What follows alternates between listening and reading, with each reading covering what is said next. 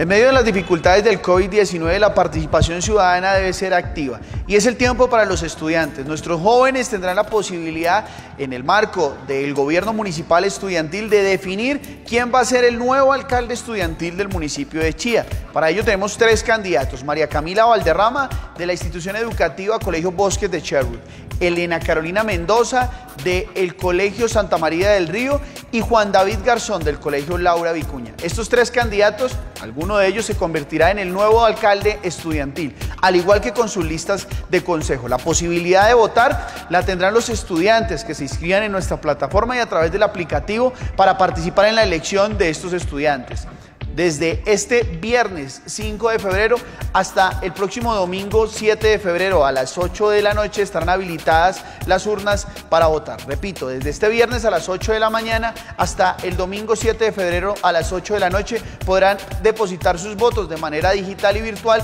y participar en la elección del gobierno municipal estudiantil. Conozca a los candidatos y estudiante de colegio privado o público. Participe.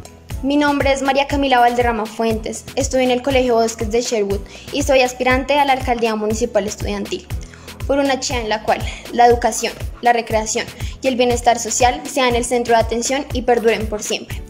Es hora de escucharte, es hora de ser honestos contigo, porque tú y yo juntos somos más. Mi nombre es Elena Mendoza y soy candidata a la Alcaldía Municipal Estudiantil de Chía. Estudio en el Colegio Santa María del Río. Mis propuestas se basan en escucharte, en saber cuáles son tus necesidades y en diferenciarlas. Quiero trabajar con y para el pueblo, por una chida igualitaria y educada. Mi nombre es Juan David Garzón Emocón de la institución educativa Laura Vicuña. Queremos conjuntamente con la Policía Nacional disminuir el consumo de drogas en el municipio.